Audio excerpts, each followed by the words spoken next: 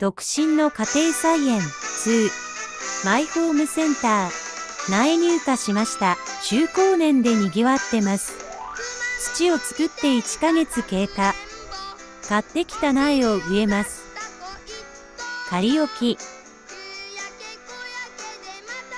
去年は種から育てましたが買った方が早い。夏野菜の代表きゅうり肥料入りの水。根の活着が良くなる。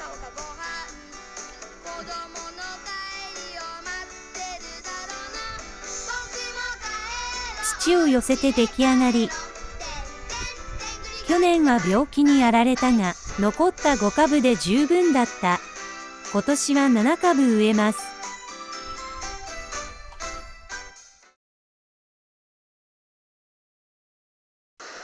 次トマト2株。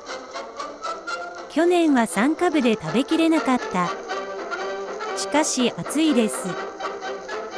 今年の梅雨はどうでしょうね。去年は6月に梅雨明け。栽培には大事なことです。トマトの接ぎ木支柱を組みます。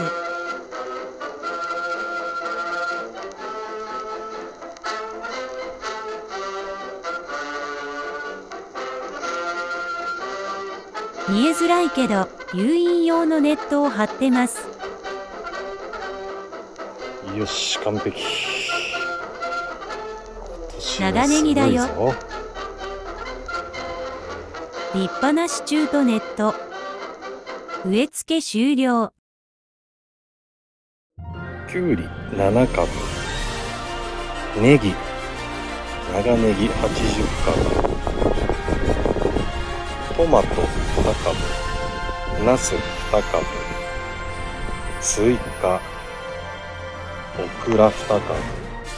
スイカおナス2株。メロン。メロンメロンメロンメロンメロン。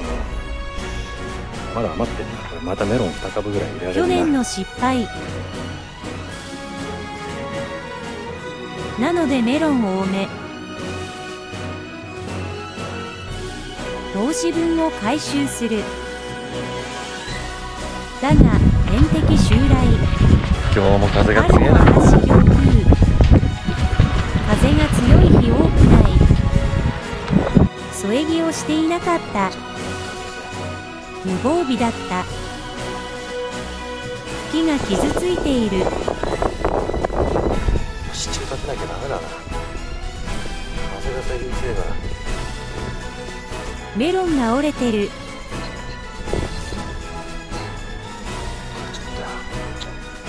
スイカとメロンがやられた。去年はアンドン仕立てでしたが今年はトンネル支柱で育てる。時期に害虫も来るでしょう。苗を守る。去年買った支柱を使用。今年は内代3000円だけで済んでいる。メロンで元を取る。ロープを張って固定。ついでにつるを誘引できる。メロンを吊り下げ栽培。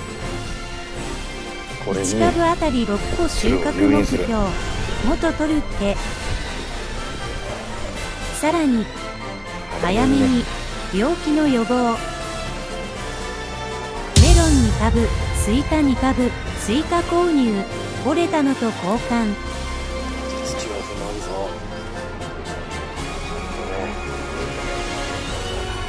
添え木割り箸。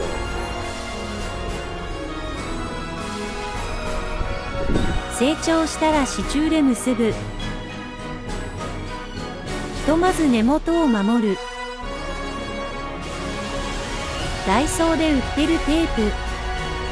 麻紐がいらない便利です。